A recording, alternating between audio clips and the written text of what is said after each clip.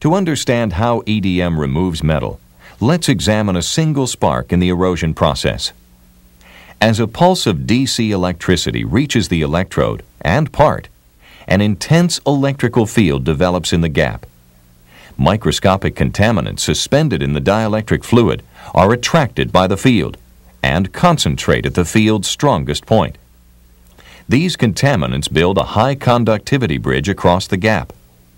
As the field's voltage increases, this material in the conductive bridge heats up.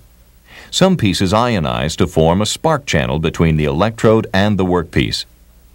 At this point, both the temperature and pressure in the channel rapidly increase, generating a spark. A small amount of material melts and vaporizes from the electrode and workpiece at the points of spark contact.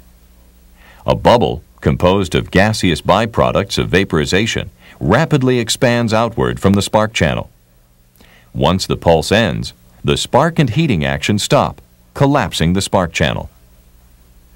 Dielectric fluid then rushes into the gap, flushing molten material from both surfaces. This EDM residue consists of small solidified balls of material and gas bubbles. The resulting EDM'd part can have several observable surface layers. The top surface layer is created when expelled molten metal and small amounts of electrode material form spheres and spatter the surface. This layer is easily removed. The next layer is a recast or white layer, where EDMing has altered the workpiece metallurgical structure. This layer can be reduced using the right control settings or by polishing the part. The third layer is the heat affected zone or annealed layer. It has only been heated, not melted.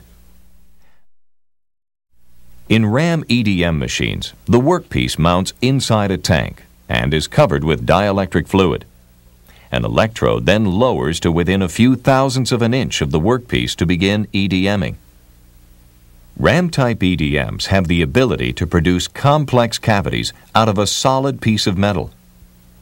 RAM EDM machines are also referred to as die sinkers or vertical EDMs and range in size and automation from manually operated tabletop systems to large bed manual or computer numerical control systems.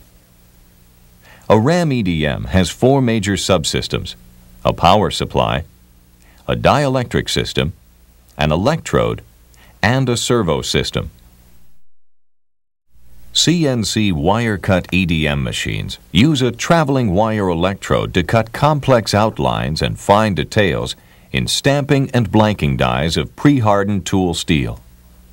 The wire drive system continuously delivers fresh wire under constant tension to the work area, guided by a set of sapphire or diamond wire guides. New wire is always exposed to the part, so electrode wear isn't a problem like in RAM EDMing.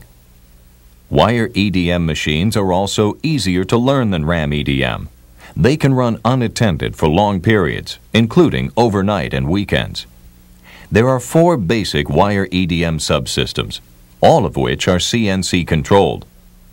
Those subsystems include the power supply, the dielectric system, the wire feeding system, and the positioning system.